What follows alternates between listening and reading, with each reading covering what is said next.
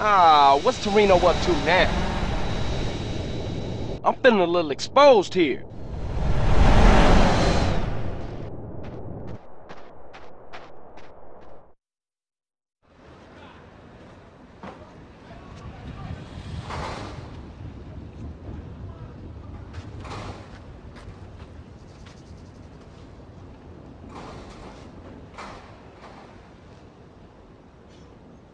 What's your take on this? Damn! I thought them was your people. Listen, Carl, we've got a problem. Some traitors from another department think they can help the overseas situation by financing militaristic dictators in exchange for arms contracts.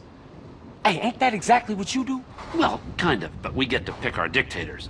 Degenerates that we can control. We try to stay the hell away from these guys with principles, because that just muddies the waters. Yeah, okay. Okay, so, of course, these idiots have stolen a consignment of landmines and they plan to offload them in the Middle East and cause a little ruckus and everybody goes crazy and have a lot of problems. I mean, Carl, do you like maiming people? Curious. Maiming? Some people, shit. Anyway, the point is, you and me, Carl, hey, we're the same. Now, yeah, it's a dirty job, but somebody's got to do it. But if you screw this up, it causes a tinderbox situation all over Latin America and the Middle East. Now, look, I spoke to the big man. You got clearance to eliminate these fuckers. How's that?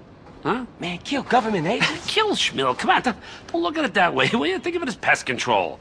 It works for me. All right, come on. I can't stay here now. I'm too hip. I gotta go. Okay? I'm out of here.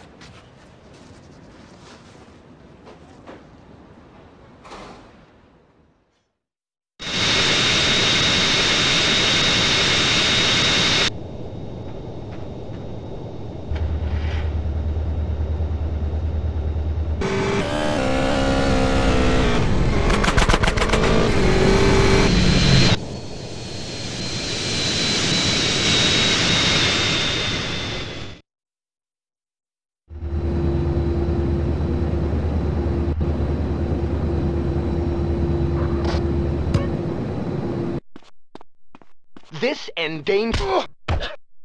Sorry, my fault.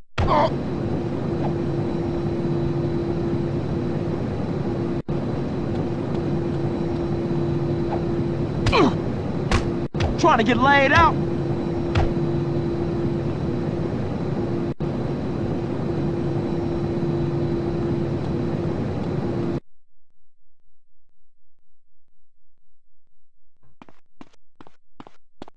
Carbon-based buffoon.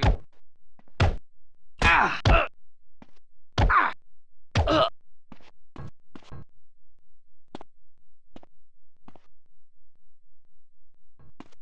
You don't know what you're messing with.